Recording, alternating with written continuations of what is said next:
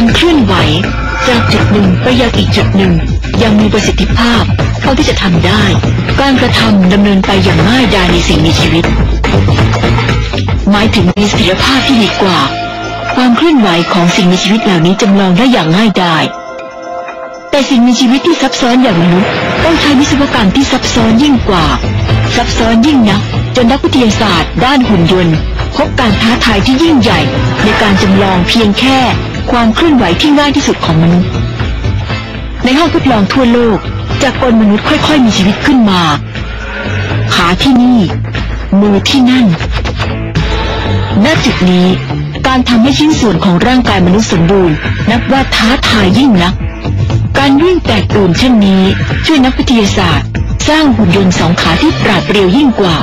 มันสามารถวิ่งได้อย่างงดงาม แต่ยังมีปัญหาเรื่องการทรงตัว ซึ่งเป็นภารกิจที่ซับซ้อนสำหรับเจ้าสองขาที่ปราศจากสมอง มือเป็นสิ่งมหัศจรรย์อีกประการในวิวัฒนาการของมนุษย์ การจำลองความคล่องแคล่วของมันแทบจะเป็นไปไม่ได้ จนถึงปัจจุบันนี้ ด้วยนิ้วสามนิ้ว และหัวแม่มือที่พลิกได้มือกลอันนี้จึงสามารถหยิบจับเกือบทุกสิ่งที่มือของเราทำได้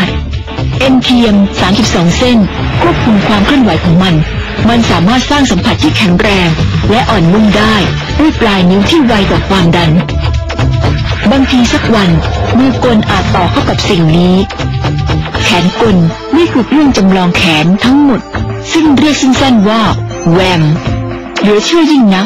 ที่แวมสามารถคว้าลูกบอลได้อย่างแม่นยำมากกว่าหลายคน ในเสี้ยววินาทีที่ลูกบอลลอยอยู่กลางอากาศ แวมทำการคำนวณหลายพันครั้ง พื่อคาดหมายตำแหน่งของลูกบอล มันมองผ่านทางกล้องสองตัว ที่เคลื่อนไหวอย่างอิสระเพื่อตามรอยลูกบอล แม้ชิ้นส่วนทั้งหมดจะประกอบเข้าด้วยกันและสร้างอิสหุ่นยนต์ที่เหมือนมนุษย์ขึ้นมา